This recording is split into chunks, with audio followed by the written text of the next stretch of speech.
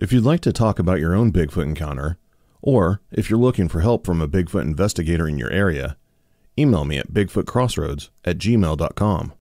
Also, be sure to check out the Facebook page and give it a like at facebook.com forward slash Bigfoot Crossroads.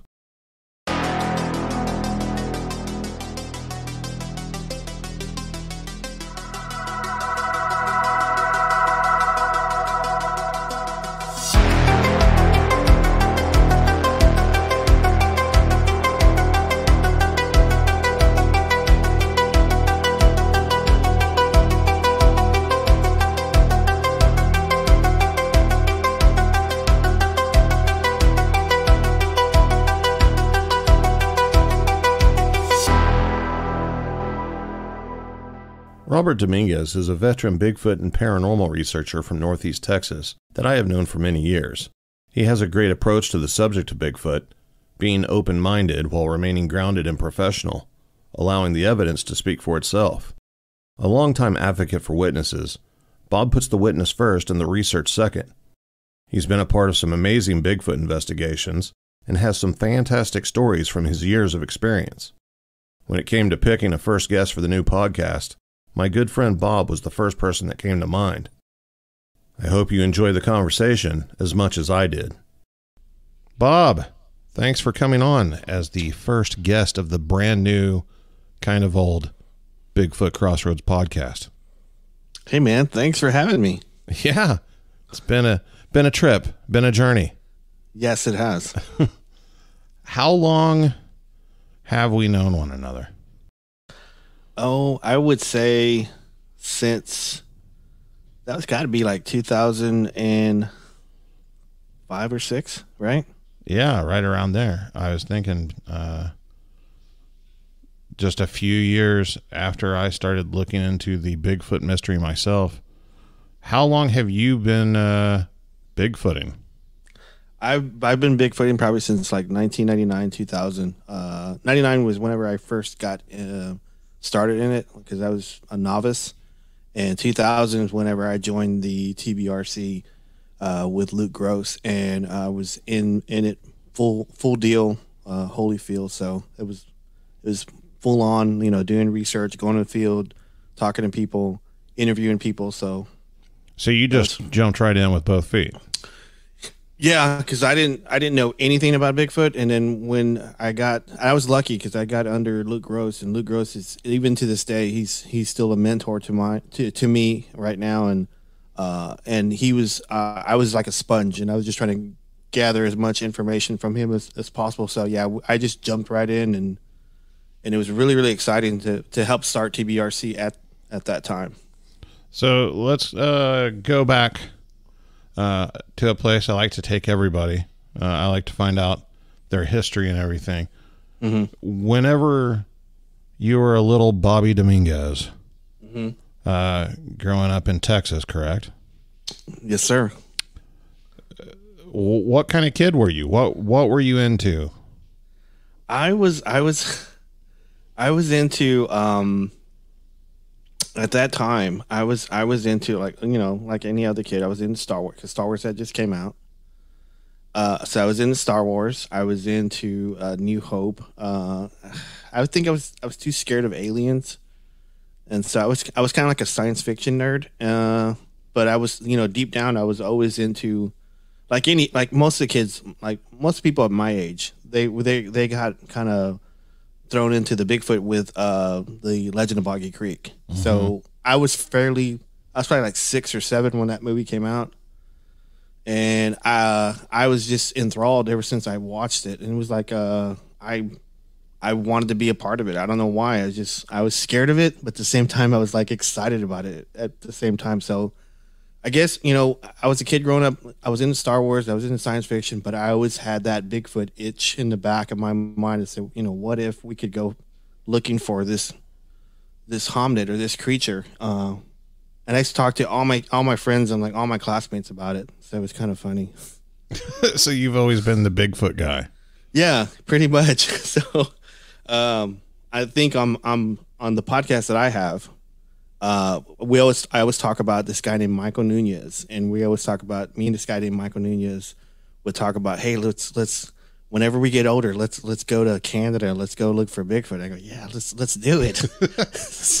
but like even like we talk now, so we, you know we should probably look for Michael Nunez, but you know who knows where he's at.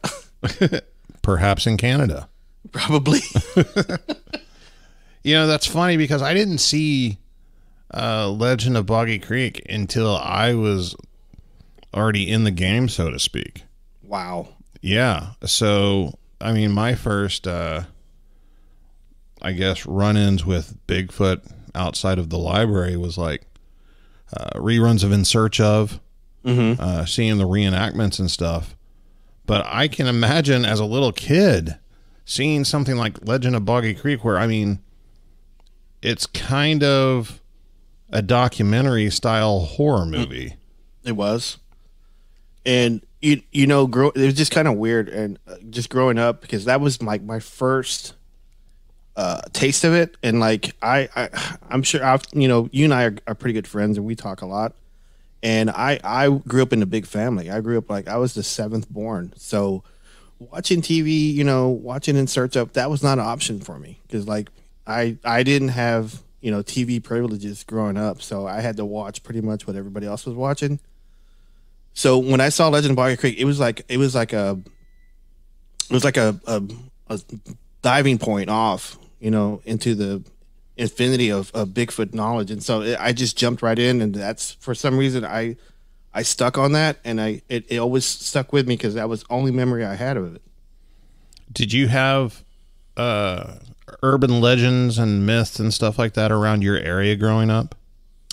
There was there was um there was um the what is that I'm gonna I'm gonna probably spaz out here thinking about this one, but this one is uh Lake Worth Monster. Yeah. The Lake Worth Monster. That was that was around our area. That was like way before my time though. I think uh my mom actually had um an incident of the Lake Worth Monster. And so a lot of people thought it was a goat they called it the goat man. Yeah, yeah, I have heard that reference. but really it's it was really like a bigfoot I mean, most people that if you go back and look at the fort worth star uh, fort worth star telegram uh, notes on that or the old clippings in the 50s and the 60s and i think you're gonna come across that most of the people who describe it is it, to me it sounds like a bigfoot and um but that was in my area growing up but i to be honest with you i didn't hear about it like like you i didn't hear about it until i was older until i was, was actually in the field doing Bigfoot research, and I had heard the story, so I went back to go look at it. I said, "But I, if if I was had that story when I was a kid, oh man, I would have, I would have freaked out." There's a pretty famous photograph of the Lake Worth monster, yeah, uh, the one that they printed in the newspaper. Have has that ever been debunked to your knowledge? um, I don't.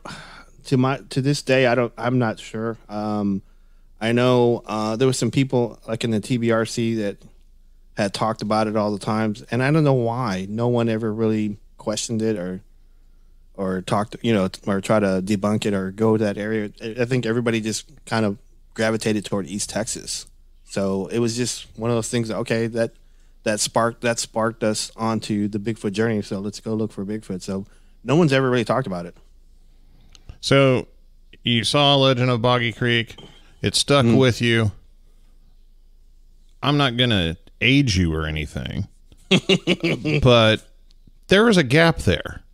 Yeah, How, uh, so what motivated you to finally be like, you know what, I'm doing it?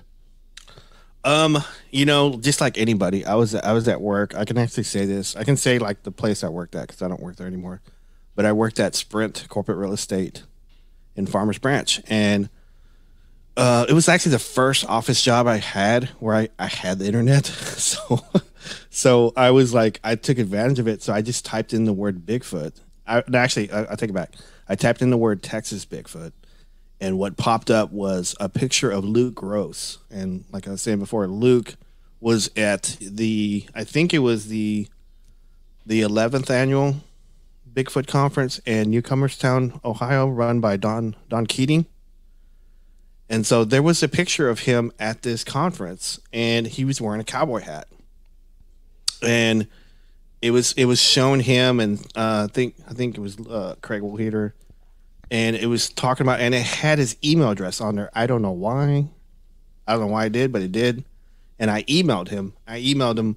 I said, "Hey, how does one how does one contribute to Bigfoot here in Texas?" Because I just wanted to see if I could get someone to respond. Because like I think at the time I had I had uh, emailed the BFRO to see if I could contribute with them before I went out to looking for, you know, looking up Texas Bigfoot. I never got a response. So I reached out to Luke and he responded like within a week. And I think he was in Missouri doing a Bigfoot case with Buddy Britt.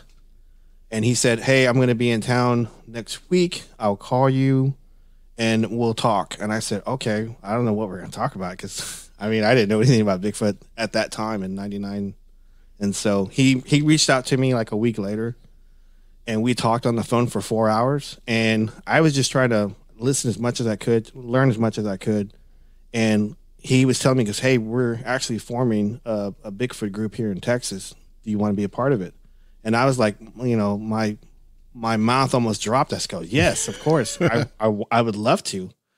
And I go, I don't know what I can contribute, but okay. He says, no, just come out. So uh, we end up forming that that Bigfoot group like late late '99 in December uh, in East Dallas at Craig Wool Craig Woolheater's house. So it was twelve of us, and so once once he got me because like Luke's he can he can motivate he can he can do a, a good you know pep uh, speech pretty good. Yeah, so he's like a he talks like a coach. he does. he's he's almost he's almost like a like a East Texas Captain America. yeah. so so he he he was like he was like um, telling me that I can contribute. It doesn't matter, and that that motivated me. I said, okay, I'm I'm in this. So I drove to this guy's house in East Dallas, and my mom was up, so upset because she didn't know where I was going. I was going to I was going to some stranger's house that I found on the internet. And Who chases meet. Bigfoot? Who chases Bigfoot? so so that was that was that was my start into into the Texas Bigfoot Research Center. So, and then the rest was history after that. So, so there was a guy, uh, a rich oil man by the name of Tom Slick, uh, yes, down in Texas, who mm-hmm. uh, funded a lot of research endeavors uh, for Bigfoot and the Yeti. Mm-hmm. Um, you know, paying the best of the best, providing the equipment, you know, the airfare, all of that sort of thing, uh, to the you know far reaches of the world. Mm-hmm.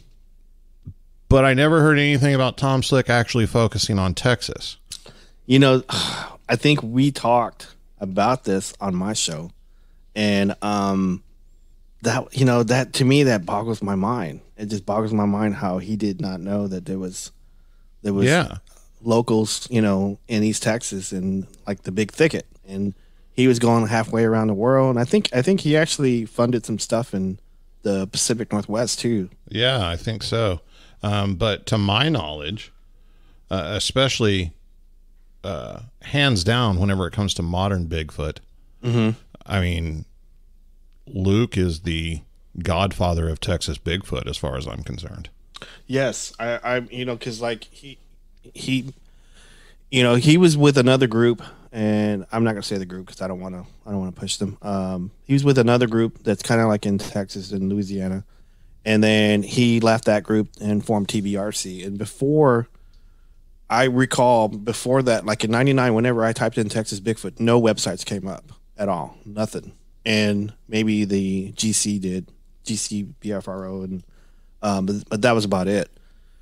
And then after Luke formed TBRC, you know, a lot of other groups start po- like popping up like years later, and it was just like it was it was just like he start. I'm not saying you know he's he's the reason why, but after he formed TBRC and we we got well known a little bit, like in East Texas, and then other groups started popping up because um, I'm sure there was other groups that wanted to join our group, and we had like um we had a hold on membership for a little bit, and so I'm sure people start, you know, started joining or forming their own groups after that. So it started popping up like a lot. Yeah, yeah. I uh, stumbled across uh, Bigfoot very similarly through the internet, and that was back, uh, you know, 98, 99, same time Right. frame. Yeah. And there wasn't that much out there, but within the next couple years, there is just a huge boom of groups and websites dedicated to Bigfoot. Yeah, because like we whenever whenever because like we're we're pretty much did almost uh almost like discovered Bigfoot almost at the same time, and uh, I was I was like I was looking up on I can't think of the name, but it was like it was like GeoCities and it was like e groups and there was like another one I can't think of it. It's like Fire something I can't think of it, but it had all these groups, these different groups that are like chat rooms and stuff like that, and I'd always look for like Bigfoot stuff, and those back then those those were hard to find. Yeah. So. So whenever you first got into this, Mm-hmm. what did you think? Uh, uh, I mean, in regards to Bigfoot actually existing, did you think right out the gate like this thing is real, it's here, or what did you think it was? What What were your very early thoughts and beliefs whenever it came to the subject? I, you know, whenever we formed TBRC, I was, I was just in it. I said, okay, this is going to be a group, kind of like a, like a book club, you know. We just, we'll just get together and we'll just talk about Bigfoot, and that's something I like to talk about. And then we started talking about like outings and like I said, you know, I was thinking to myself, I never said it out loud. I said, "There's no way Bigfoot's in in like East Texas or Texas. There's no way." At all, and I didn't. I didn't even think about it. Said, you know, they want to do outings. I said, okay, let's go camping. Okay, that's cool. so so we end up we end up going to uh, I think it's Sulphur Springs, and there was a couple. This is lady's property. I can't think her. I can't think of her name, but it was this lady's property. We went out, and she lived right on this gas right away in Sulphur Springs, and I think it was right near Jim Chapman Lake. Um, so um, we were on this lady's property. It was like most of us from TBRC, and we were sitting there and Luke was, you know, sitting there with us, and it was like real late at night, and she had a bunch of dogs, and all the dogs were around us and um, friendly. She had like five or six dogs, and Luke was telling us, "Hey, um, this thing's gonna come around around, you know, three or four o'clock in the morning. It's gonna let us know, and it's gonna leave, and then come back around five or six. And I go, "Okay, sure." So we're just sitting there talking, and around three or four o'clock in the morning, um, the dogs go under this lady's house. And you know we hear like a big like it's not to me it sounded like a shotgun. Like pow. And then it was another one pow. Then another one pow. And i go someone's shooting. And luke leans over to me he says no that's that's the bigfoot letting us know he's here. And i go what does that mean? I go okay so and then later on you know it leaves the dogs come back out and about five or six o'clock in the morning, the dogs go back under the house. And then we hear like a behind us, like a big piercing yell. And it seemed like it went on forever. It was like, and it like the, the further it went, the louder it got. And like my my chest was vibrating. Like really, really bad. And I go, I mean, it, it almost sounded like a whistle, like a like a train whistle, like you were standing right next to a train. But it wasn't a whistle. It was you can tell it was like an animal and whatever it was was letting us know. And, he, and Luke like leaned over to me and says, "He's leaving now, so it's just letting us know." So the next morning we woke up. you know, we woke up and then we walked over to where we thought where these these you know these uh, loud bangs were coming. And we walked over to these trees. It was like a it was a cluster of trees, and they were they were all bois d'arc trees. And if you know bois d'arc trees, those those trees are really dense, really hard. And uh, this thing was walking along this this tree line and it was reaching up and it was twisting. It wasn't breaking off completely. It was just twisting these branches about eight feet up, and uh, and it was pretty thick, about three or four inch diameter branches. And I looked up and then I looked down. Luke was pointing to the ground. He says, "There's no trucks coming through here." So this tells me that this was a Bigfoot walking around, uh, you know, an alpha male, you know, showing it's a great, you know, that he was the, the most dominant person here. And I looked up at that and that scared the crap out of me. I said, man, this is real.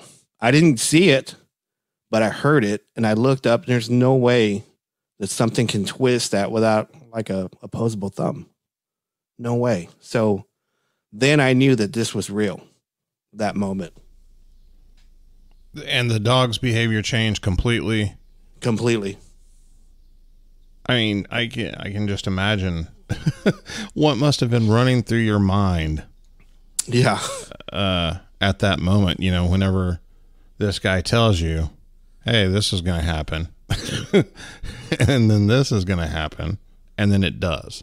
Yeah. So I, I, can't explain it. Like, it- you know, most of the time whenever I go in the woods or also like most of the times I did like research with TBRC or in any stuff that I did like while I was independent. There's, you know, there's been areas where you go to and it's pretty dangerous and it's pretty scary. And, and I've been, you know, I'll admit I've been scared on some, you know, some of the outings and some of the places I've gone, but every time I'm with Luke, I'm not scared. I don't, I can't explain it. I don't know why but I, I always thought, "Oh, with Luke's here. Everything's gonna be fine." so because he he knows whenever they come around. So, so So whenever that happened, I mean, were you just like picturing like the creature from Boggy Creek out there snapping the tree limbs, or what? pretty What- pretty pretty much. And then I was looking. I, I was I was thankful I wasn't like in the bathroom, you know, doing the number two while this thing was something because it would have reached in and grabbed me like a like a tree branch and just broke me. So now that you've been doing this for eons, how have your uh, thoughts and beliefs on the creature changed over the years? You know, when um whenever we first started in '99, um, you know, Luke had the idea, and he was he was a great teacher, and he was had he had the idea of this thing was flesh and blood, and you know, we didn't we didn't cater any other theory after that. I mean, once we started the group, that was that was our deal. It was flesh and blood. So anybody that came to us and talked to us about portals or spirits or um, the Bigfoot's changing into like a, a changeling or something or uh, morphing into something else, we just shut it down and we didn't think about it and said, no, you're wrong. And that was whenever it first started. So I, I left the group in 01 in 2001 and um and I started doing a lot of like you know independent stuff. And I was like I was free to do a lot of stuff because whenever you're with a group like especially like like TBRC you you're only allowed to do certain things. You're only allowed to do certain uh experiments and you're not and so you kind of like limited on doing stuff. So once I left and started doing other stuff I started doing as much as I could trying different things and then talking to different people and I think whenever I left, I talked to a lot more people. I talked to a lot of uh, Native American groups and uh, cattle groups, and I just started hearing what people had to say. And like after after I've gotten older, and most of the experiences I've I've had, there's some there's some things I've I've I've experienced that I cannot explain, and for the life of me, I'm I'm just a little bit more open to it. So um, I used to not think that and I know when I say this, I don't. It's not my core belief, but I'm open to it. You know that the Bigfoots ha- may have an uh, like an opportunity to to uh, read your mind or, or or talk to you psychically. I mean, I don't. That's not that's not my view, but I'm open to hear people talk to me about it, or portals, or uh, these things can these things can change into uh, a beaver or a raccoon or whatever. So. I, I like in the past I used to shut it down, but now I'm more open to hear about it. So I don't I don't try I try to listen as much as people as I can, like in the field, and and people want to talk to me about it, then I'll I'll listen to them.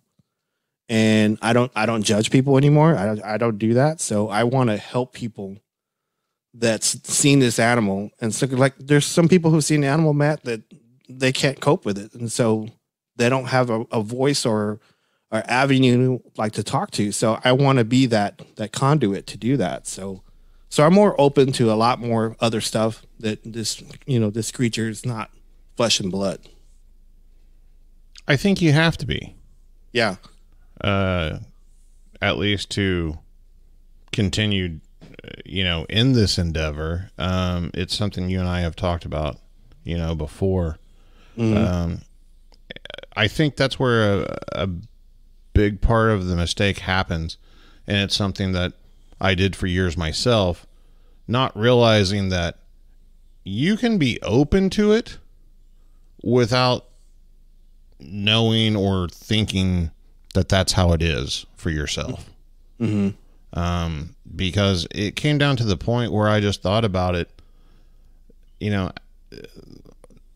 I don't talk about my sighting a lot because it's weird to tell somebody that, you know, you've seen Bigfoot. Mm-hmm. And the reason that it's weird is because most people don't believe you. Yeah. But then I know that. and for years, somebody would tell me something crazy that they supposedly observed in regards to Bigfoot. And if it didn't fit in my beliefs, I would just write them off. Right. So I was doing the same thing to them that I don't like done to me. it can happen. Yeah, whenever we actually don't know. None of us know. Right. No one's experts. Like like I said before, I, I've had some experiences that I cannot explain, and um, so I'm actually more open that they're not just flesh and blood. They could be, they could be spiritual, or they could, be, you know, they could be. Uh, I mean, because no one ever talks about this, and I know I've talked to you off show about this before. Bigfoots can have ghosts. I mean, what? I mean, if humans can have it, a Bigfoot could have it too. So, I mean,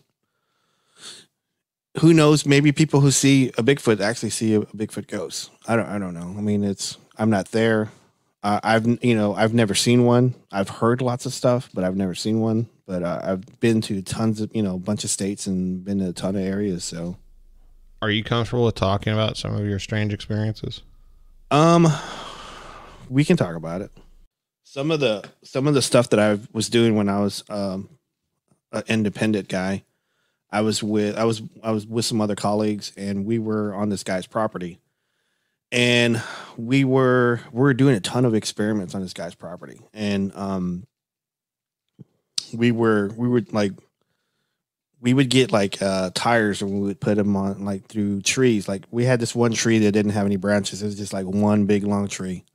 And we had we had cut all the branches off. And so we it was like maybe 10 feet up you know, we would get a ladder and we would put these tires like down this tree and we would we would color we would spray we would spray color like the the bottom one to see if a, if a bigfoot would notice it and sometimes we wouldn't get it and you know and so you know we had the idea of of of peeing on it so we peed on it one time and or all of us did and like the next time we came back out the next weekend the whole tree was pushed over and so so I kind of it kind of started us on this ex, like this experiment to do stuff. So we would we would go on this guy's property and we would walk like we would walk all all over to this guy's property and I would take off my shirt. It was all sweaty and I would stick it like in the crack of a tree and I would you know he he had a bunch of he was growing a bunch of stuff too. He was growing like cantaloupe and and corn and stuff. So we would get like a like an ear of corn and we'd walk into the woods and stick it in like under a log or something or put it you know behind a tree or something so we would do that a lot. And then, and when I would, when we would sleep, because we would sleep on like in tents on this guy's property. And then when I would wake up in the morning, I would find like rocks, like a stack of rocks outside our tent. And they were like stacked, like, like almost like, um, like someone went out of their effort to stack these rocks on top of, you know, on top of each other. And then they would leave like, um, herbal, herbal herbal stuff out for us, like you know, uh, like mints and stuff from the woods, like flowers and dandelions and stuff like that. So it was kind of odd. And then we would have all this stuff, and then um, we would notice that they would like leave sticks out too, and these sticks would would be in a pattern, and and I would look at it, go, is that a pattern? And we would all notice it. And At first, we would just think there was a bunch of sticks because you know if you're a Bigfoot researcher, you run into stacks of sticks all the time or branches stacked a, a weird way like no no storm would ever do and so after we looked at it a couple times um, one of the guys pointed out that they thought it was it was sticks that were in ogham and we looked at it kind of strange and i said no there's no way. There's no way it's that.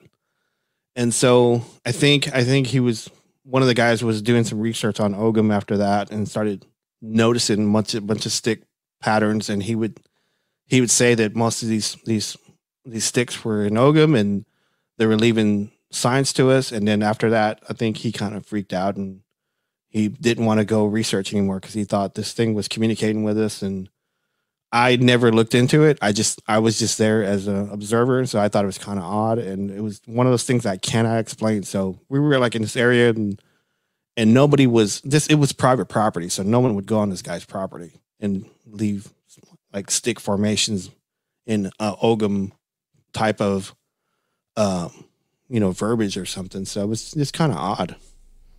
And Ogham's like a ancient druidic secret language, isn't it?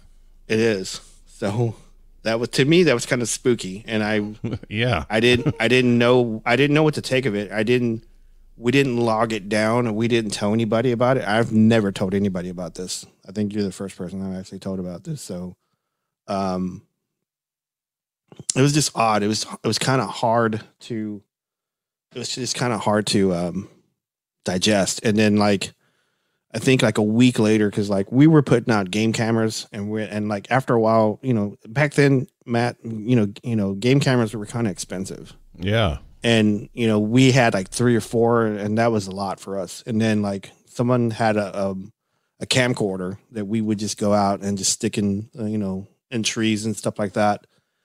And so we still we didn't have we didn't want to do like walkie talkies or anything like that. So we would just shout to each other like in the woods, you know, hey, are you over here? Hey, are you setting this up? And uh, one of the guys, um, I'll just say, you know, his his name was Buddy, and we used to shout Buddy in the woods all the time. And so whenever we were like recording on these camcorders, we would go back and like look at the footage and hear the audio and there was a it was a point in time where somebody was yelling the name Buddy, and it didn't sound like one of us.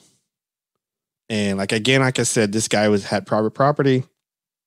Nobody nobody was allowed on this guy's property, and so somebody was yelling Buddy in the woods, and it sounded really deep, and it sounded really like almost like a growl type of Buddy, you know, and and that really freaked him out, and he didn't want to come back, and uh, come out, and uh, it kind of freaked me out a little bit too. So, so it's just kind of odd that this.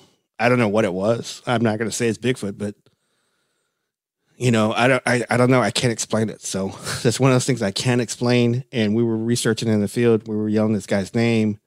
It was maybe mimicking us. And so, and there was like another time where I was sleeping on this guy's, uh, sleeping like in the tent, on this guy's property and right next to his property was like uh, this other farm that had horses. And in the middle of the night, I had woken up, you know, to go do the business, and came back in into the tent, and I lay down, and I could hear a horse like in like in the distance, like you know, doing his. and at the very end of his of his of his yell, it would go.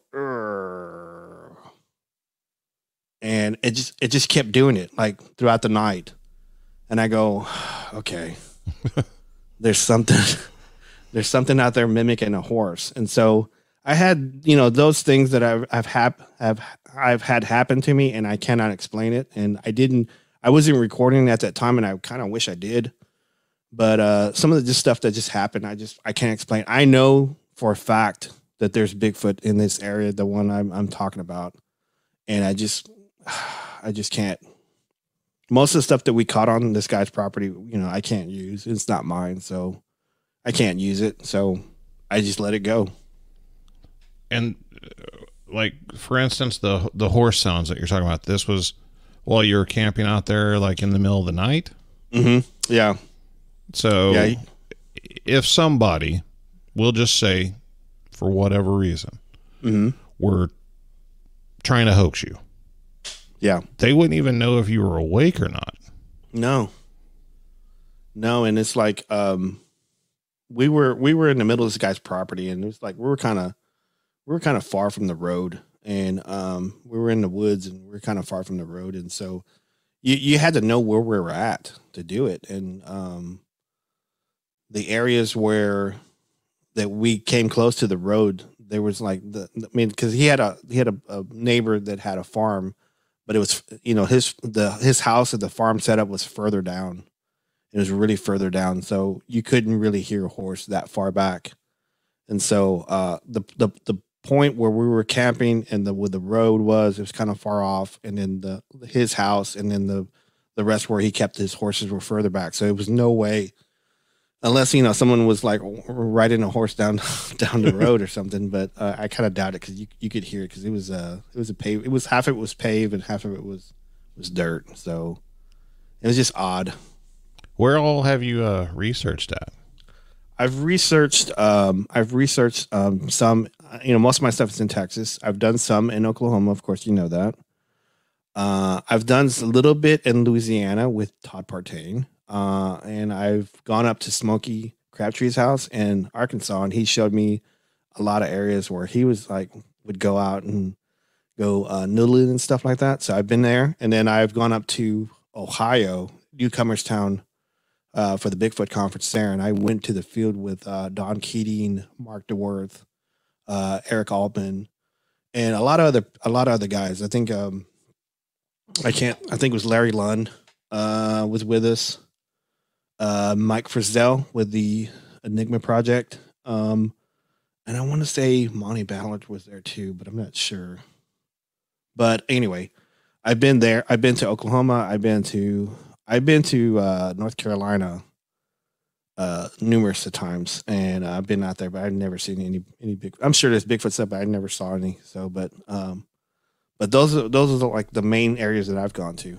You mentioned Smokey Crabtree. Yes. uh, for people who are unfamiliar, uh, the legend of Boggy Creek is pretty much about the Crabtree family's experiences. Yeah, and if you know, bless his heart, he's already passed away, and I'm I'm glad I had the opportunity to meet him. But if you were to talk, if, when he was alive, if you talked to him about that, oh, he would get, he would, he would turn red, and that's that's just a sore subject with him because, uh, which I'm sure I'm sure you know. Yeah, but what what was it like for you though, meeting Smokey Crabtree? It was man, it was like it was like because like um like I was like you know we, we were saying that if like the Legend of Boggy Creek was based on his family, and it, it, it didn't say Smokey, but it said the Crabtree family. So I just assumed, like whenever I first met him, I, I assumed that he was a part of it, and I said I love that movie, and he handed me a shot glass. he handed me a shot glass. He says, "Oh man, I don't want to talk about that movie." So. Uh, but he didn't. He invited me up to his house, and we went up. We drove up to his house in Fouke, and uh, he showed us like a big skeleton. I when I looked at it, it looked like a panther. Like it was like a it was a big skeleton of a looked like a big cat with no head and no tail. And he had it like in this big glass thing, and he was he swore up and down that it was you know it was it was a critter. The real um, deal. Yeah, it was a real deal. But when you looked at it a bunch of times, and I, I'm sure I have pictures of it. I I, just, I have to look for it, but uh, it it looked like a, a panther. That's what it looked like. And it was like it was a big cat. It was huge. And um and then he took us inside his house and he had this huge huge hornet nest inside his house. Like it was like it was emptied out and it was like hanging over his his fireplace. And it was it must have been about at least about oh I say like six feet wide and about wow four foot tall. what? And it was and it was huge. And I said, "What is that?" He says, "Oh, that's a it's a hornet's nest that I, you know, I had when I was a kid, and I just kept it, and I hung it over his fireplace. So I thought that was cool, and I go, okay, cool. And then uh, he walked us to the back of his house, and in the back of his house, he's got a pond, uh, a catfish pond, and uh, we walked back there, and we, he he walked me to the very edge of the of this because he built like a pier that goes in, you know, to his pond, and he had this like silver trash can that he would bang on it. And as soon as you bang on it, it says like like hundreds of heads would pop up out of the water. And he handed me a cup, and I would like, you know, I'd go in this trash can that had this feed, and I would just throw it in the water, and you could see all these catfish. I thought it was neat as heck, you know. That I got to hunt. And then later on that day, we he took us uh, he t- he took us to the bottoms, and we walked around, and he was wearing um, his fishing pants, and you know, and we were walking around and looking at stuff, and he and after that he he took us to the Monster Mart, which I thought was great. So the famous Monster Mart. Yeah, I have a picture. I'm sure I'm sure you've seen it. It's like me like flexing in front of them with the monster. so, but uh, yeah, that was that was great. But uh, I'm actually I'm actually friends with his son on um on Facebook, and I I call him Smokes. Where is your favorite place to Bigfoot after you've been to all those different places? Um, I would say I did a lot of my stuff. There's like two places I did uh, like the majority of my stuff at, and it's like uh, Lamar County, Pat Mayse Lake area is where I done like predominantly most of my stuff, and then uh, I'd like to go up to uh, Moyers, Oklahoma, and there's a little a little area of the of the Kiamichis that I'd like to go up there, and I've had a lot of experiences up there, so um, Moyers and probably uh, which I think is Pushmataha County. Pushmataha. Pushmataha, and uh, and then Paris, Texas, which is um, uh, Lamar Point. So that's th- those are two areas I like to go. And um, recently on the podcast that I'm that I'm doing, um, there's a there's a story I've been doing like three episodes on and this one guy had an experience in Longview. So that's my next place. If I were to go back in the field, that's where I want to go next is Longview, where this guy had this amazing story of this aggressive Bigfoot. So that's where I want to go next. There's a lot of stories of aggressive Bigfoot in Texas and mm-hmm. uh, Oklahoma as well, uh, where I'm from.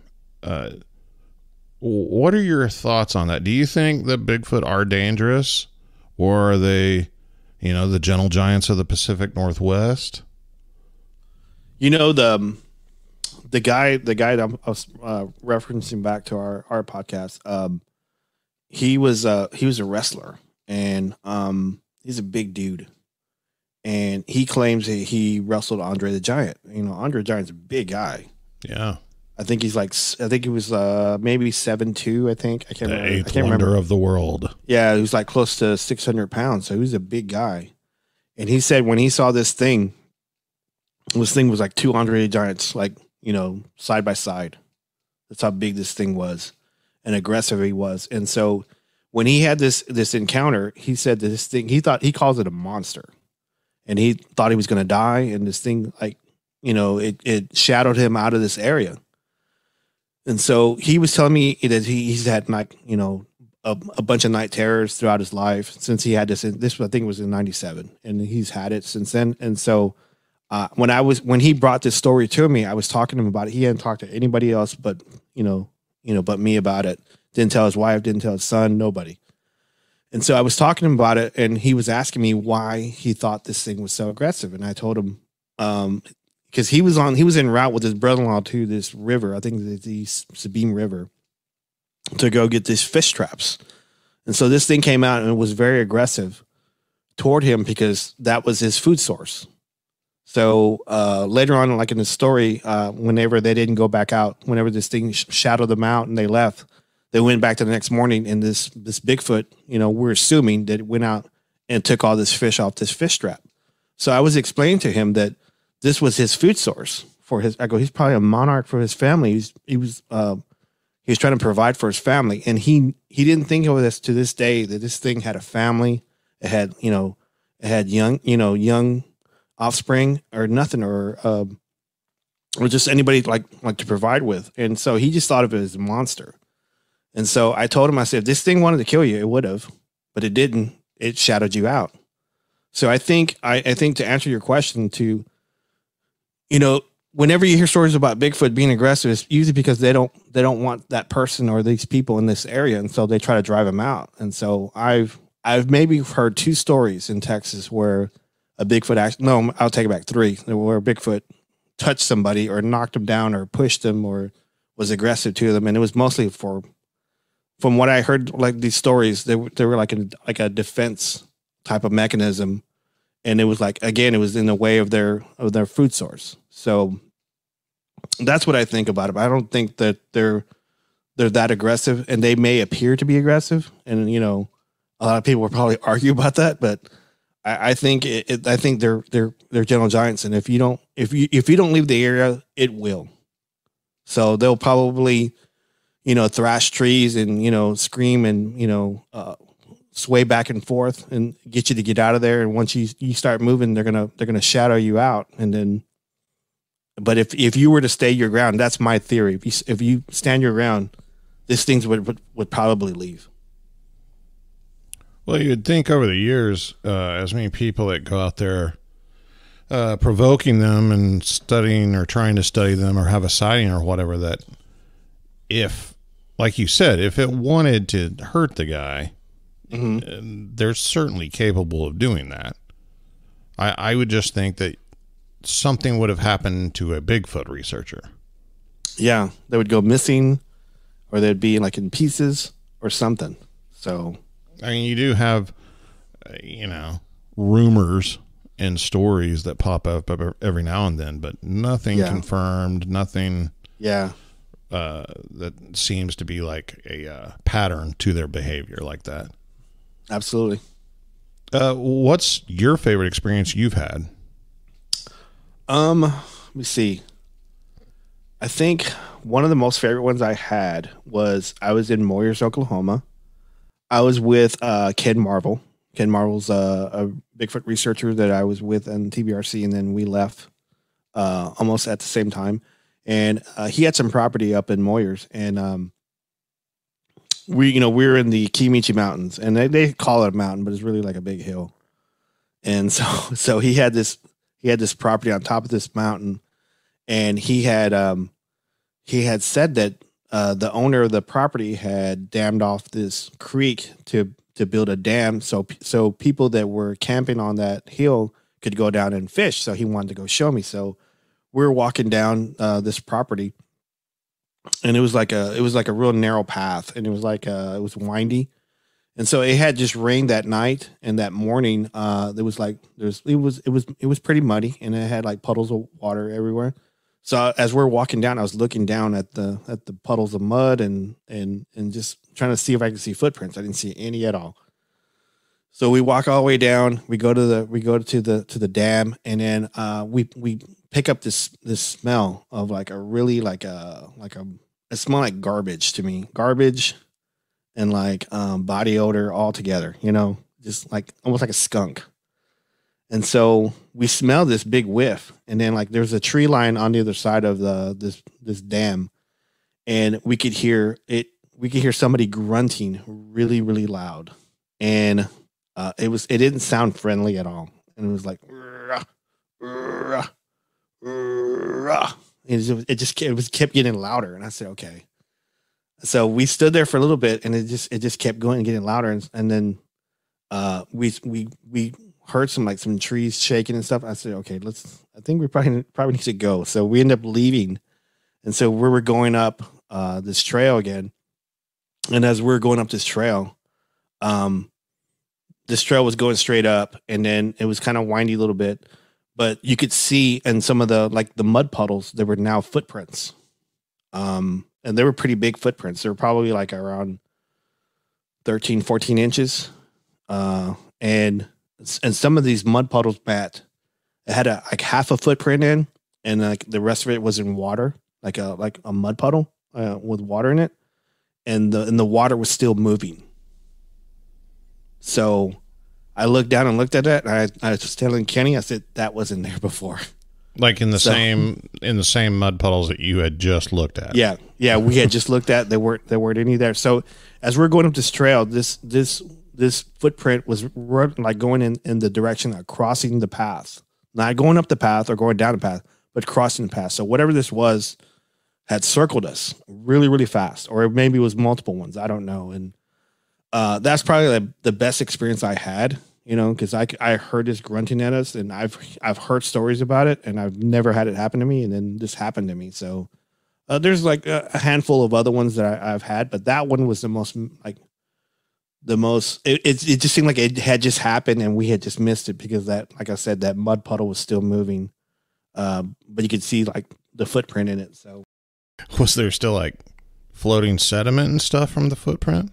yeah, you could you could see you could see the where the water had moved. Like you it know, hadn't even settled yet. it hadn't even settled yet, and you could see like toes, and you could see like the back heel was was in the water. Like you could see like toes on it.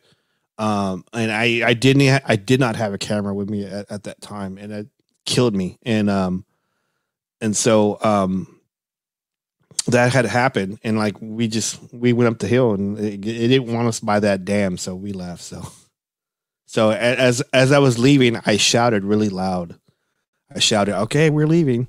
So- If you put together a Bigfoot bucket list, what all would be on it? Who would you research with? Where would it be? Well, I would say this. I would I would want to go back to the great state of Oklahoma and research places with you. Oh, you're too kind. I don't know how much of a bucket list that is. well, if if we're talking outside the box, I would say I would have, I would I would have loved to meet John, John Green. I would have loved to met uh, meet him and um, probably Rex Gilroy in Australia. I like to go to Australia and look up the Yowie. The Yowie. Yeah. So I'd li- I'd like to do that. Uh, Rex Gilroy was the guy that I I got in contact with in '99, and I don't know if he's if he's around anymore. I don't know if he's still alive, but he was he was pretty. He was an older gentleman at that time, and he was the only guy I was talking to about the Yowie, and he would like send me like articles and photos and all kinds of stuff, and I would I would have liked to gone back and maybe done some stuff with him.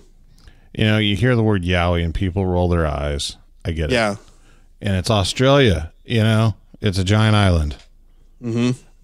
But I mean, if there's going to be a place where these things exist, Australia's the place. You know, Yeah, look, at, look at the animals that are already there.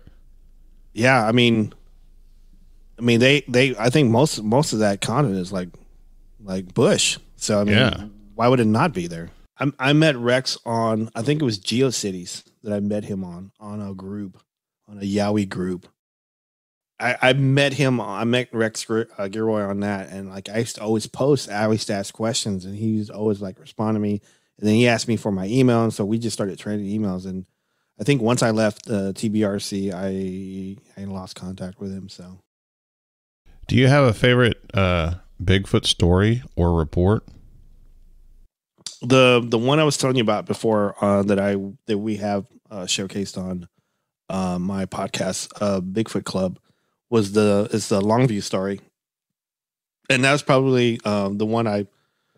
This guy brought me a story like I think like six years ago, and I've always been enthralled by it. And so this gentleman, like I was telling you before, he had he was a wrestler, and he had this this aggressive Bigfoot come out, and uh, it came out and uh, you know showed itself into him and his brother-in-law and his brother-in-law was telling him before he had got there that, that he had a critter problem but he didn't he didn't say what it was. He just said i have a critter problem. So when they went out to go talk because he was talking to his brother-in-law about getting a job or something they were walking to the to the to the sabine river to go get their their fish and this thing came out and was very aggressive so when he when he first told me the story he said this thing stepped out of the woods and when he he told me that, I said, "Hold on, stop right there."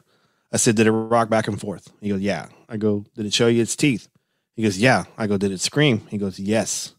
I go, "Did it grab branches and start, you know, like shaking them around and stuff?" He goes, "Man, were he goes, shit, man, were you there?" and I go, "Continue, go." So he was telling me about it. So he he said he only saw this animal like six seconds worth, maybe. And he says what always what always grabbed me about this story matt was he told whenever he said this whenever he told me the story he said when it, it walked through a briar patch like was nothing. Like Mhm. it like it like it this, like like these thorns didn't even bother it. And just he says that the the wood swallowed this thing up.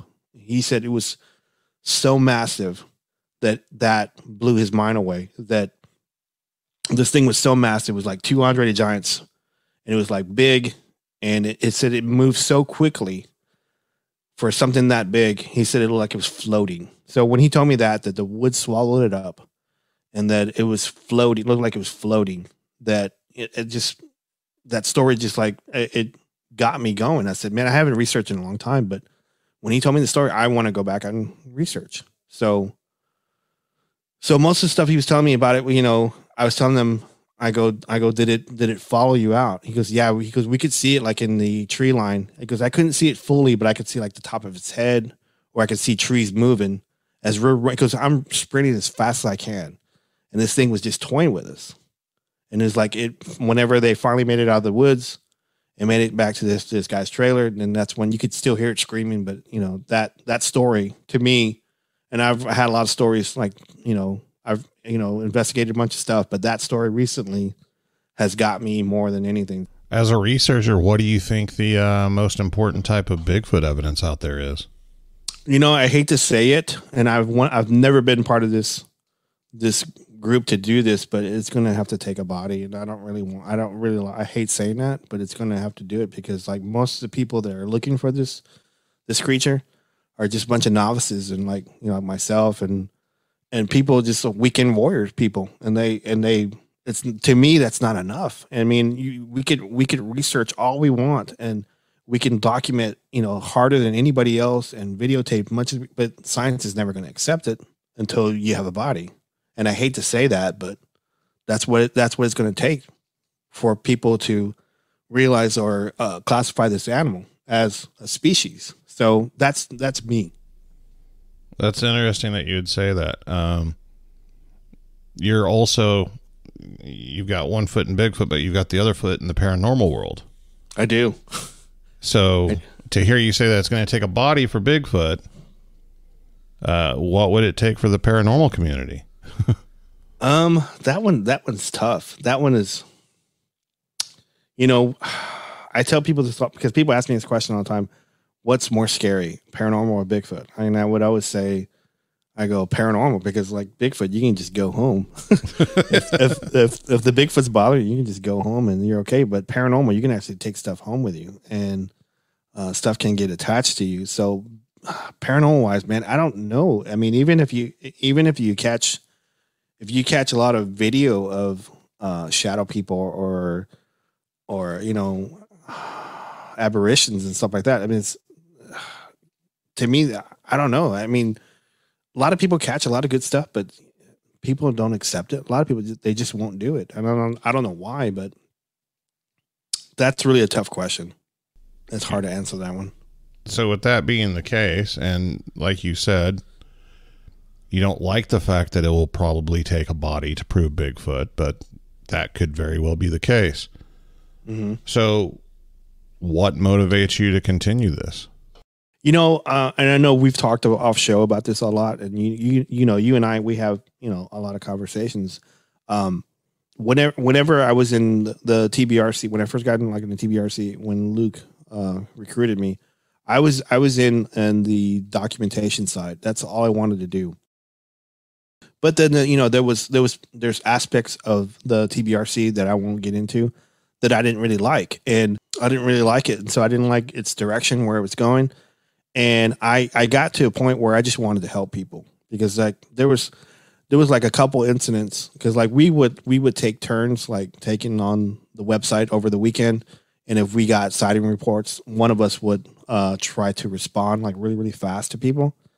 And I got I had a couple I had a couple incidents in uh Lamar Point where I had whenever that's why I, that's why I'm kind of close to that that region. But I had a couple incidents where this lady reached out to us and she was she was devastated and her husband didn't believe her. She had she had two little girls. She she had reached out to the sheriff. The sheriff didn't didn't want to listen to her and she had no avenue to go to ask for help. And so i was i was like her like she i think she she messages like at three in the morning and i called her at 3.30 and she was frantic and she didn't know what to do. She didn't know where to go. She didn't she didn't she was at on her last straw. So I was like pretty much her her only only way to to solve this or just reach out to her. So I talked to her for a couple hours and I assured her that we were going to be out and I told her what to do and um so just helping people, you know, educate them on this animal on what what you know what the animal does, why it's there, you know, why why is it coming by or you know, how come I saw this and when I was hiking and I you know, try to give people as much information about it and just kind of help them through. So to me, that, that kind of drives me a little bit like to do that, just helping people. There should be more people out there with that mindset. There should be, but I know uh, having an encounter, uh, the the impact that mm-hmm. it has on you, on anyone, I mean, it's a life changing event. It really is. It is. And for some people, uh, that's not always easy to handle. No. And it's just like one of those things that I, and I kind of look at that way on the paranormal side as well. So I mean, on both sides, I all I want to do is just help people, and people that reach out because people still reach out to me right now on paranormal. But if, if, someone were to reach out to me on Bigfoot, I would I wouldn't hesitate. I mean, I haven't been in the field in a while, but if someone reached out to me right now, I would go out and help them and see what I could do or educate them or show them uh, why why this Bigfoot comes by or why it's well, it sounds they, like you still are helping people. I mean, you were talking about the guest you had on a Bigfoot Club, right, from Longview. Uh, think about the difference uh, it makes just to transition the thought process from yeah a monster that's out to get me to a creature trying to provide for its family. Yeah, yeah. You know, I guess I, I guess I could have used that one again because uh, he, I mean, he was having night night terrors for a while and uh, I think I think talk because like I did three episodes on it, and then uh, the third episode he actually came on and actually talked to us, and I was kind of surprised, but I was happy because I wanted to help him, and uh, he was having like uh, some uh, night, night terrors about it. I think actually I'm not, you know, it just it didn't it didn't help his marriage, you know, whenever he had that. I'll, I'll just say that, and um, because I don't want to I don't want to dwell too much on his personal life, but uh, it didn't help him, and so I think him talking about it to me because we talked about it like six more times, and I think I recorded one of them. And uh, I think I think just walking through it and talking to them about it and just helping him why he saw this thing and why it came out. And I just ex- explained to him what happened, and I assured him that nothing was going to happen to him, but he he didn't believe me on that one. So he says because I asked if I asked about going back out to the area, he does not want to do it. So I don't blame him. And I said no, you shouldn't. If that's not you don't want to do it, then you don't. You shouldn't have to. But I want to go out there. He says, "Well, you're crazy." And I said, "Okay." but that's that's like you know getting like a Bigfoot to respond to you that way. Is that's a Bigfoot researcher's dream. Yeah. So, um, you know, people might think I'm crazy, but I would. I want to go out there. I want to go out there and experience the same thing he did. So. You've handled a lot of different uh, investigations, working with groups and independently and everything. Uh, what are some of the more memorable investigations that you've participated in, and like, what are the differences you hear between witnesses about their encounters with these creatures? Um, I think you know the way the way TV is now and the internet is now, like as because I think whenever whenever I first got into Bigfoot stuff, it was the internet was just taking off. It was just you know starting to go DSL and start start going a little bit faster. So more people started um, knowing more stuff about Bigfoot, so more more information was able to reach people faster. And so a lot of times, um, whenever I was doing stuff with the TBRC and uh, when I was, you know, solo, um, you you kind of get those kind of those sighting reports where um, I call it TV saturation, where people tend to watch a lot of TV and and kind of mimic whatever people say. Cause like when someone comes up to me and say, Hey, I saw Bigfoot and I, you know, I normally ask for their address and I look it up to see what part of East Texas they're at. If it's, if it's, can if, if this area could actually, you know, sustain a Bigfoot and stuff like that. So I look at stuff like that. And so, you know, to answer your question, um, being as you know, I'm not saying I I know everything, but you know, after you talk to you know a hundred people, you kind of you kind of get to that point where you say, okay, this this area could sustain a Bigfoot. They might have seen one, and then you get some that there's no way they could like see a, a Bigfoot in this area. There's no way. So that kind of taught me that you know doing the like the different like uh independent stuff and the TBRC stuff. So it, it it's just one of those things that I don't know. TV. I think people just want to be heard a lot of times, and a lot of times you just ha- you have to be careful on what you research. And like I try to talk to everybody, but at the same time, I said, man, there's no way you, someone could see a Bigfoot in this area because there's there's too many homes. There's not enough, you know, coverage. There's not enough creeks or lakes to to you know to sustain a Bigfoot. So hopefully that answers your question. What do you think those people are looking for? Just the attention?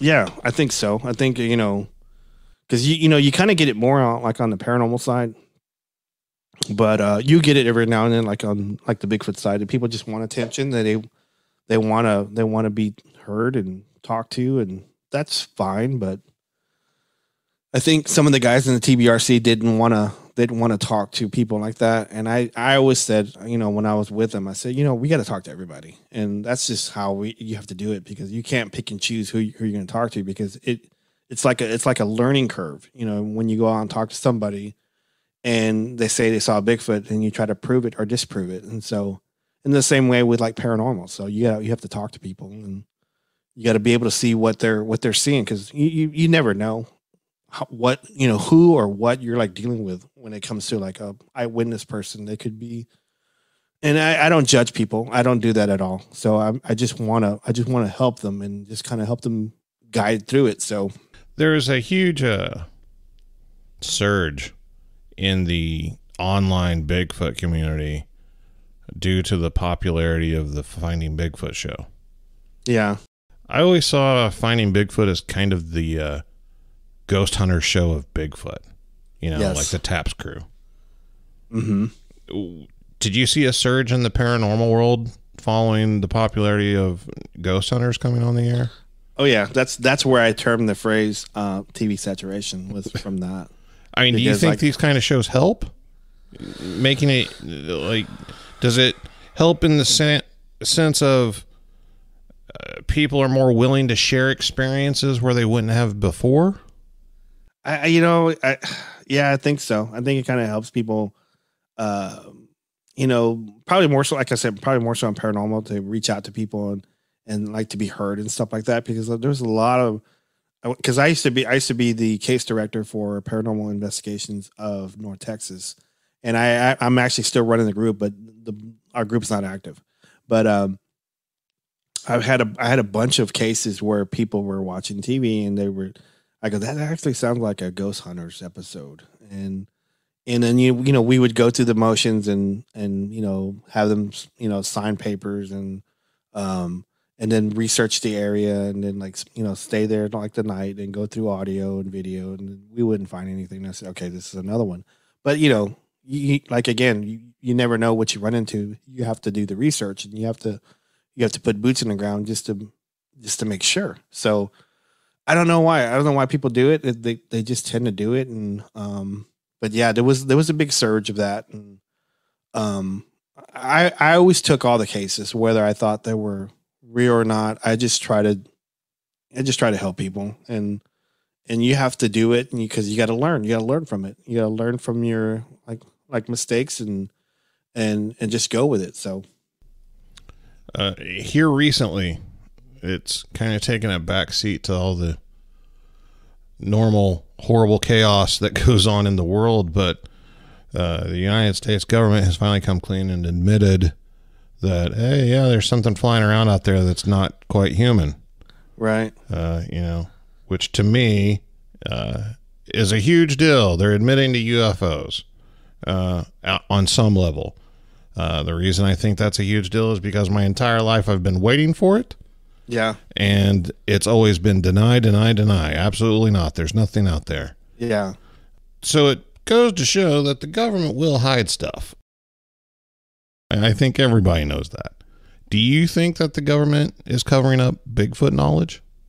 Yes, I, I, I think so. And I um I talked about this I think on another podcast, but um I, I'll say this because they, they asked me that same question, and I and I said, um, back when I was with the TBRC, we used to we used to go to an area in Sulphur Springs we called Area Two, and it was it was it was just an open area over by Jim Chapman Lake, and whenever we would go down this one this one uh, road, a game warden would just show up, just automatically just show up like he knew we were there.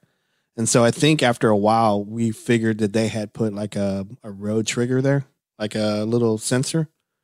And so every time a vehicle went by, they would come out. And I think uh, I think I had a buddy of mine that was a retired constable, and he had he he had his old radio still, and he would tell me, he would call me and he says, "Hey man, are you in town?" And I go, "Yeah." He says, uh, "Because the walkie's going crazy. They say that you guys are in town." And I go, really?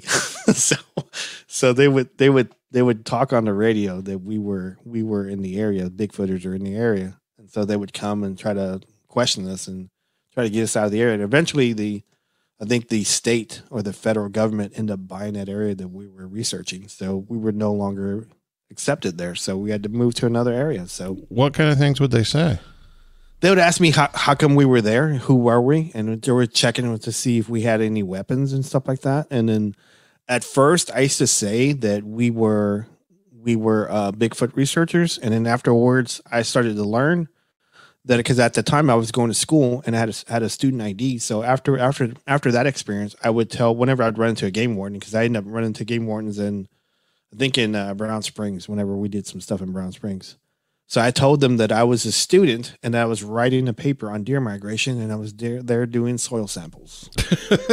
so so the, after a while I got I got pretty smart and so that then the, and then they would leave us alone.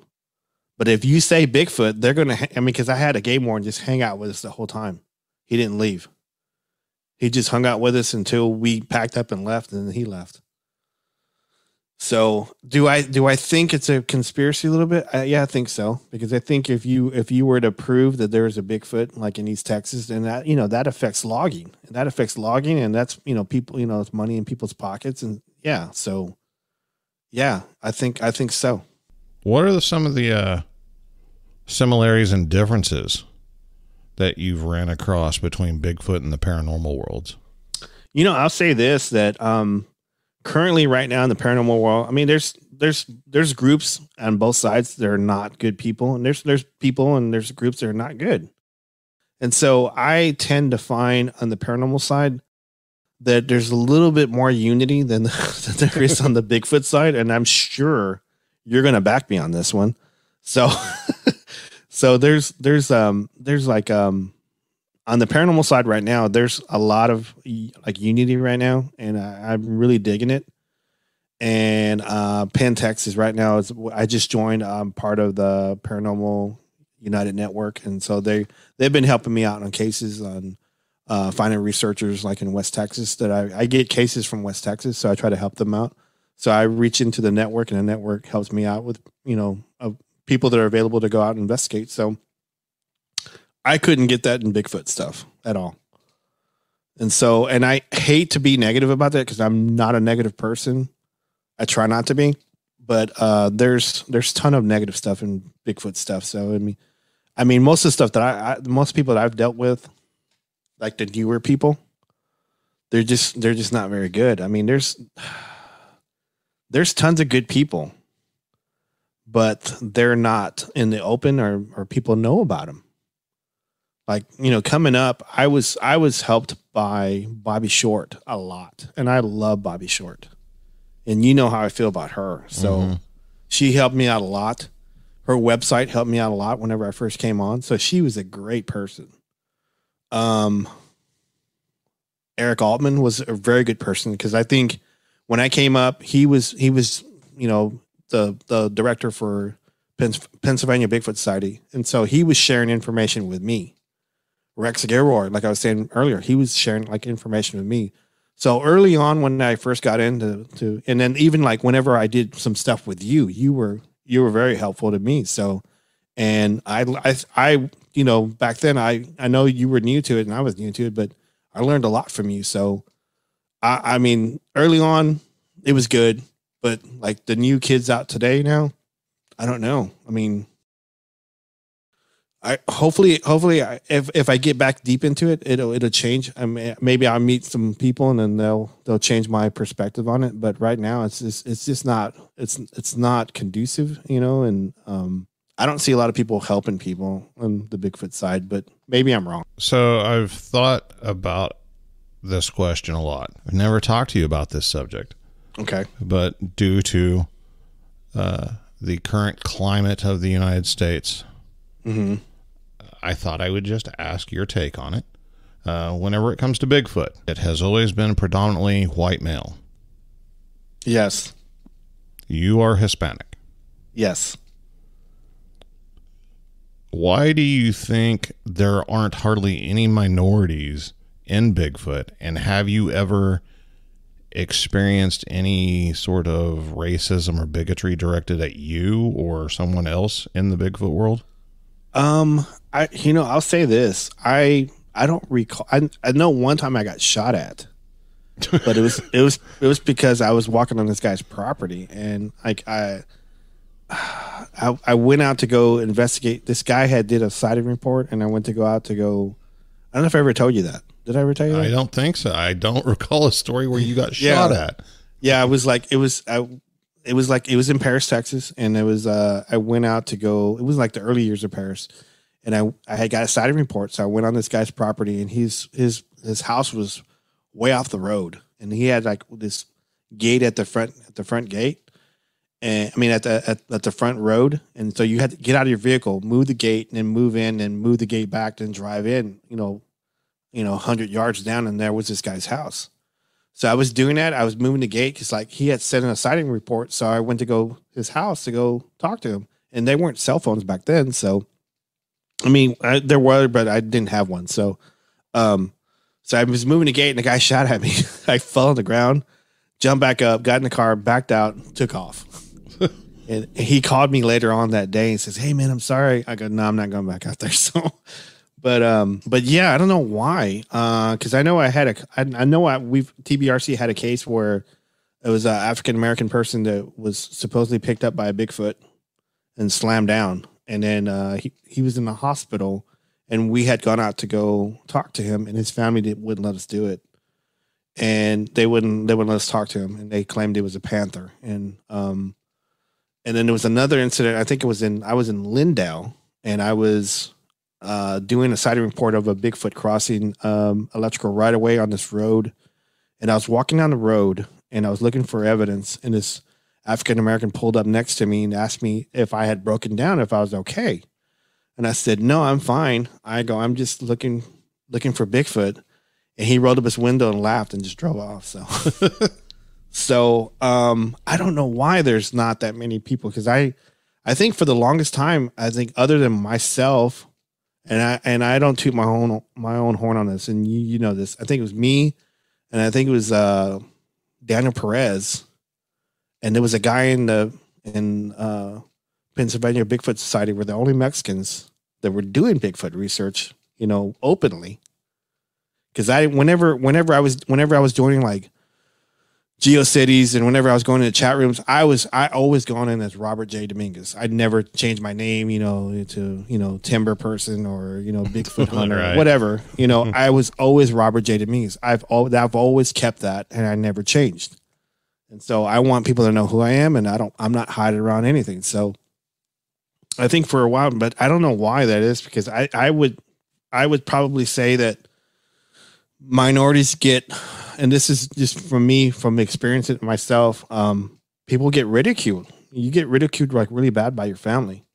Because i know I, I know i did. I know i had some friends from high school um that disowned me because i was doing bigfoot stuff. And i was like i grew up with these guys played football with them and i had you know been in fights with them not you know helping them out with fights and stuff. And and as soon as i started taking on bigfoot stuff they just disowned me. And um i don't know. I mean I've never experienced any racism while I was researching anywhere. Well, it's something that comes to mind, you know, because all these years, uh, you know, the number of minorities involved in Bigfoot research do not correlate with the actual Yeah. population densities of minorities in the United States. You know, no one's ever asked me that question ever. I think they're probably afraid of it. Yeah, probably. Do you see minorities in paranormal stuff? Yeah, actually, uh, in uh, there's a big surge in San Antonio right now, and there's like lots of groups in San Antonio and Laredo uh, that I'm finding, and they're they're predominantly Hispanic. So I mean, I I don't know I don't know. I mean, that's right now in Texas, it's just it's just surging like really really high right now. And so Have you ever experienced anything paranormal while you're out Bigfooting? You know, there was an incident. I know I talked about it on the podcast once. I was um I was with uh, Ken Marvel and I think I want to say Tim Clay, and we're in we're in again in the Kiamichis, and we were we were on um, on Ken's property, and um, he had you know to be on his property, you had to he had to own land there, and so there was like a security guard at the gate, and so not everybody could you know just drive up there and just hang out. So you had to own property and you had to get past the, uh, you know, you know, past the guard.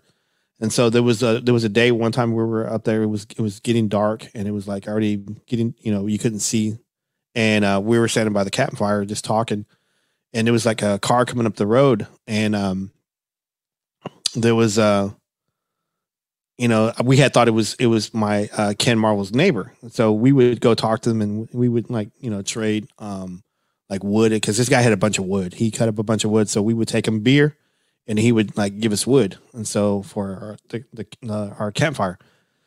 And so he was pulling up. I said, "Hey, your neighbor's coming. We should go, you know, check him out." And he goes, "Okay, well, let's let's just walk over there and and, and just say hi to him." And so as we're walking down the road, uh, we can see like this this vehicle coming up, and um, it was quiet. It wasn't. I go, "That's it's kind of weird because you didn't hear an engine." And as we're getting closer, um, these these two lights stop in the middle of the road, and this this probably like I don't know a good hundred yards away, and then it it notices us, and then these lights just take off in the woods, and it was like these lights were going through trees, What?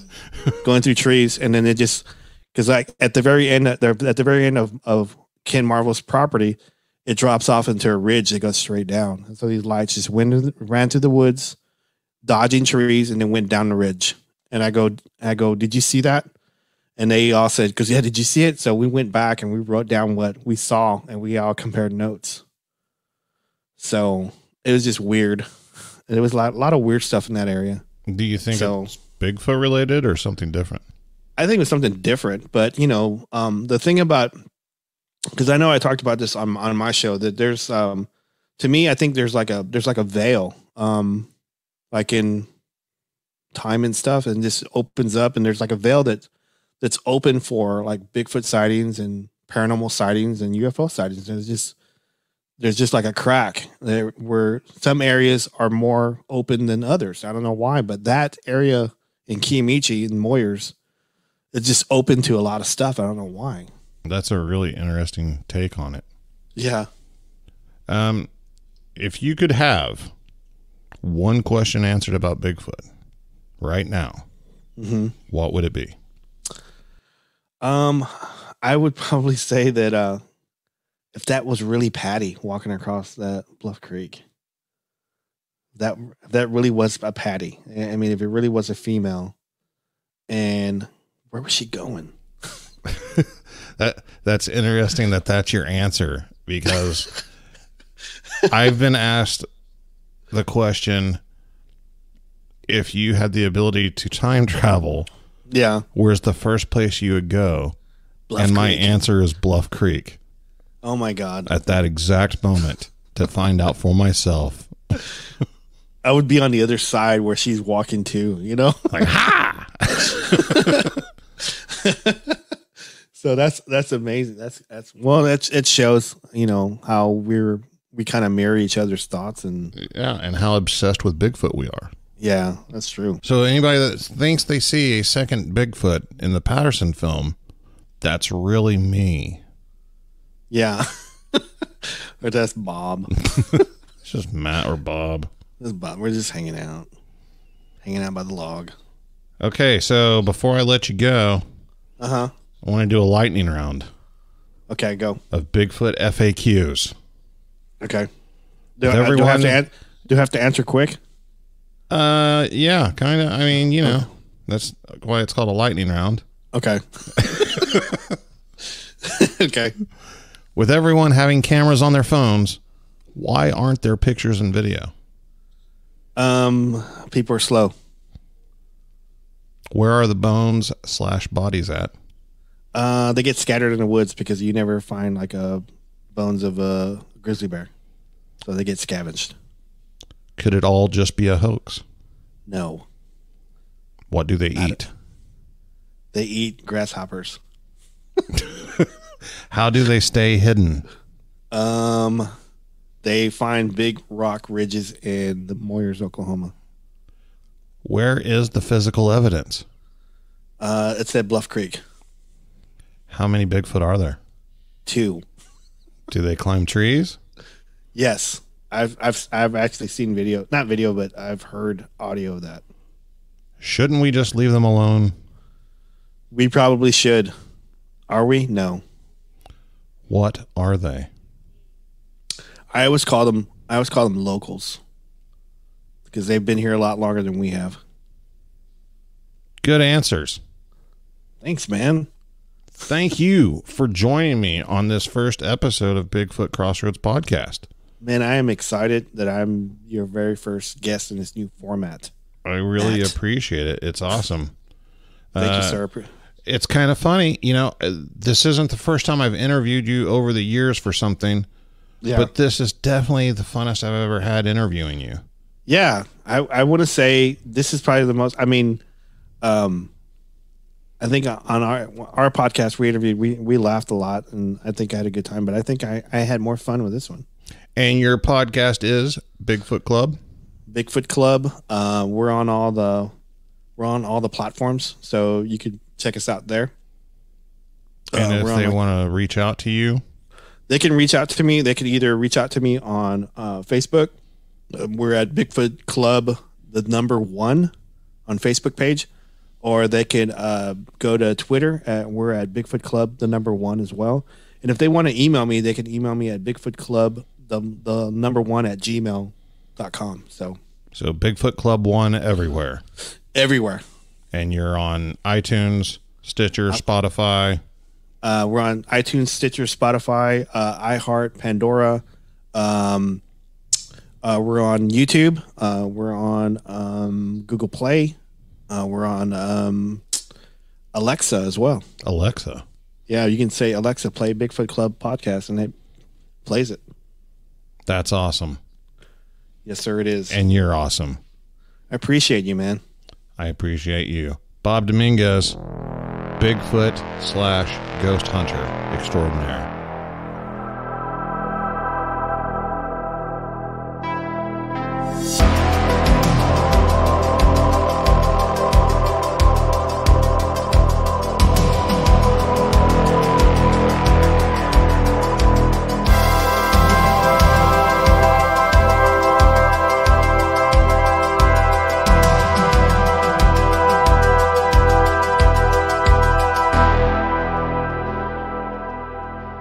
Be sure to check out my other podcast, Planet Fear, where myself and Lauren Smith talk about all the fearful and frightening things out there, from encounters with the paranormal to stories of true crime.